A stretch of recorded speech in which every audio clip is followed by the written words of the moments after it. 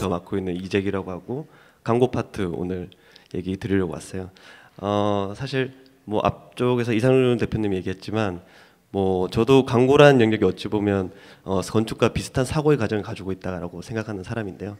사실 제, 아직 제가 얘기 드릴게요. 사, 아, 시작하기 전에 사실 제가 몇 년 전부터 계속 대안 광고라는 영역을 계속 도전하고 있는데 저도 일반적으로 광고 업무를 하는 사람이고요. TVC도 찍고 광고 모델 뭐 전지현을 데리고 가, 찍는다든지 인쇄 광고 찍는다든지 일반적으로 하는 사람인데 사실 대안 광고 영역을 subvertising이라고 요즘 글로벌에서 굉장히 핫 이슈가 되고 있어요. 커뮤니케이션 영역의 확장을 어떻게 할 것인지 그 확장의 영역에서 어떤 솔루션이 나와서 또 우리 도시 사람들이나 혹은 도시 사람들이 도시를 살아갈 때 커뮤니케이션을 어떻게 확장을 할 수 있는지에 대한 관심이 많습니다. 그래서 그런 영역에서 건축가 저는 사실 오늘 건축이라기보다는 건축가와의 콜라보레이션 영역에 대해서 설명드릴 거고요.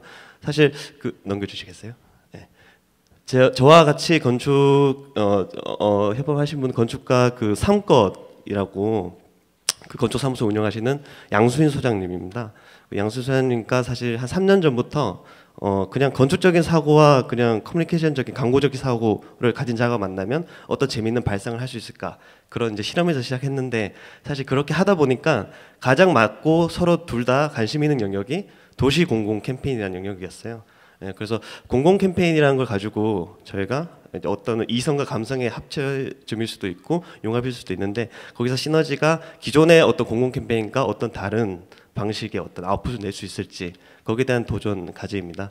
그래서 사실 저희는 롤을 나눴거든요. 협업하면서 중요한 게 이게 네 아이디어는 내 아이디어 이런 개념이 아니라 좀 재밌는 롤을 정해봤어요. 저 같은 경우는 이제 캠페인 컨셉 도출 및 스토리텔링을 맡았고 감성적인 영역. 저 양수인 소장님은 캠페인 프로세스 설계 및 실행을 맡습니다. architect 원래 이제 하던 영역이시죠. 그래서 이렇게 하다 보니까 제가 몰랐던 어떤 기술적인 feasibility 영역을 이제 양수인님께서 조언도 주시고 양수인님께서 부족하셨던 그런 부분, 감성적인 부분, 스토리텔링 부분, 또 광고 카피나 이런 거 보시면 제가 카피라이터 출신이기 때문에 문과 출신입니다. 그래서 아무래도 그런 영역에서 도움을 많이 줄 수 있었던 것 같아요. 그리고 심지어 이제 콜라보레이션의 장점은 결국에 양쪽의 장점과 장점이 만난 것뿐만 아니라 단점과 단점도 재밌는 시너지를 낼 수 있다는 어떤 그런 보이지 않는 부분이 있었던 것 같습니다. 그래서 오늘 두 가지 프로젝트 얘기 드릴 건데요. 2014년도에 진행했던 어, 가로수길에서 진행했었고요. Street 캠페인 얘기를 먼저 어, 드릴 거예요. 어, 사실 이 Street 캠페인은 사실 가로수길을 걷다가 그냥 양수인 소장님과 얘기를 나누다가 그냥 떠올렸던 건데 사실 가로수길인데 다들 가로수길 다 가시잖아요. 근데 가로수길에서 가로수라는 존재는 되게 이게 안 보이는 것 같아요. 그래서 그게 먼저 떠올랐습니다. 과연 가로수길인데 왜 이 명칭에 대한 부분은 사라졌을까? 이거에 대한 좀 프로블럼이 떠올랐고요. 그리고 또 하나는 그냥 이건 실질적인 이제 부분인데 주차장이 많아졌다는 걸 이제 알게 됐고 이제 구청에 가보니까 실제적으로 주차장을 만들기 위해서 소유수를 만들어 버리게 된 거예요. 그러니까 그 가로수를 잘라버린 겁니다. 저희도 모르는 사이에 가로수는 없어지고 있었죠. 그래서 저희가 미션은 딴 건 아니고 가로수길에서 이제 가로수에 대한 관심을 재환기시키자라는 부분. 또 하나는 실제적으로 이 프로젝트가 솔루션이 돼서 실제적으로 가로수를 식수하자라는 어떤 탱저블한 목표까지 좀 잡아봤습니다. 그래서 이 미션을 가지고 제가 컨셉을 만들었는데요. 뒤쪽에 열어주시겠어요? 예.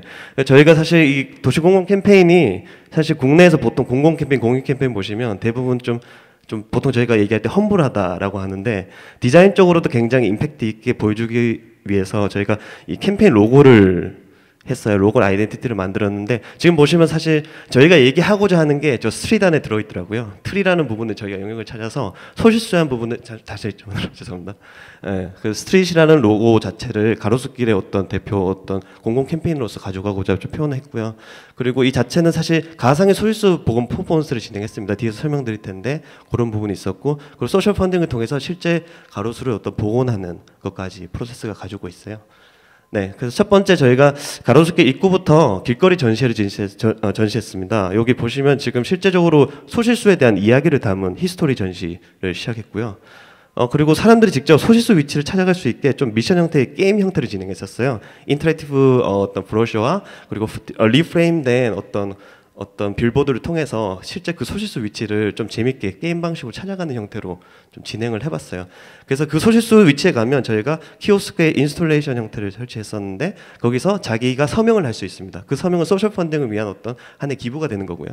그리고 이제 그건 단순하게 웹과 모바일 영역에서도 진행을 할 수 있게 통합적으로 진행했었어요. 그 지금 보시는 것처럼 사인을 그냥 사인이 넘어가는 게 아니라 사인 자체가 transition 돼서 실제 나무 잎 같은 영역으로 재밌는 영역으로 해서 나무가 완성되는 실제 소실수가 있, 던 곳이에요 여기가 소실수가 있던 곳이 저희가 가상으로 미디어 facade로 어, 소실수를 이제 만들어 봤습니다. 네. 아무튼 result로 본다면 결과적으로 저희가 총 이제 일주일간 진행했었는데 한 만 개 정도의 서명을 받고 이 서명을 통해서 social funding을 위한 어떤 기부금 마련을 했습니다. 그래서 이 기부금을 가지고 실제로 가로수에 저희가 소실수를 가지고 캠페인을 했기 때문에 소실수 그 자리에 심어야 되는데 상권 협의회에서 반대가 심하더라고요. 주차장을 없앨 수는 없는 거죠. 그래서 어쩔 수 없이 저희가 예, 도곡동에 있는 어, 가로수가 좀 필요한 곳에 식수를 실제로 했습니다. 예, 지금 보시는 그림이고요.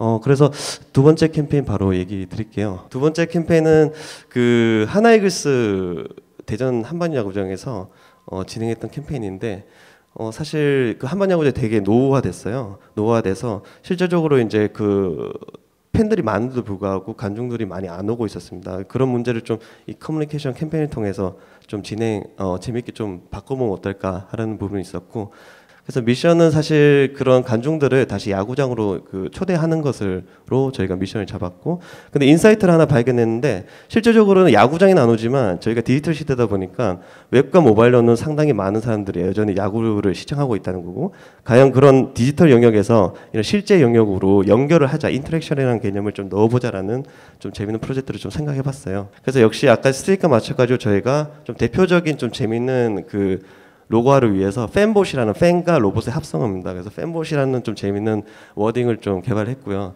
예, 그걸 가지고 어찌 보면 저희가 뭐 세계 최초의 야구 응원 로봇이라고 했는데 그러면 이제 팬봇이라는 어떤 어, 가상의 야구 응원 로봇을 만들었고 웹 또는 모바일로 응원을 응원 메시지를 보내면 이 팬봇이 빌보드 형태로 들어주는 거예요. 예, 간단한 영역으로 좀 사람들이 재밌게 자기가 이 야구장에 와서 응원 메시지 보내는 것처럼 하는 그런 퍼포먼스를 진행했었고요. 그 지금 뭐 아이디 프로세스인데 지금 되게 빨리 넘어가서 그냥 쭉쭉 보시면 될 것 같습니다. 한번 보셨던 분들도 있을 거예요. 스포츠 중계에서 상당히 좀 나왔기 때문에 그래서 이게 사실 작년부터 올해까지 2년 동안 진행됐는데 어, 다른 그 BBC나 뉴욕타임즈나 NHK에서 세계 한 18개국에서 노출이 됐던 것 같아요. 재밌는 게 컬처 쇼크로 보도를 하더라고요. 무슨 얘기냐면 어 이게 사실 실제적으로 국내에서만 있는 문화입니다. 야구 문화가 야구장에서 이렇게 역, 열정적으로 응원하는 문화가 근데 그걸 가지고 아시아 쇼크로 쇼크로 비유션 뉴욕타임즈에서 다룬 적도 있고요.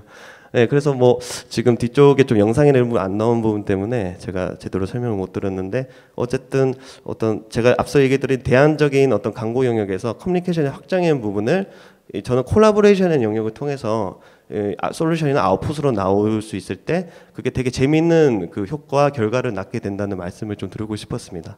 네, 저 제 얘기는 여기까지입니다. 네, 감사합니다.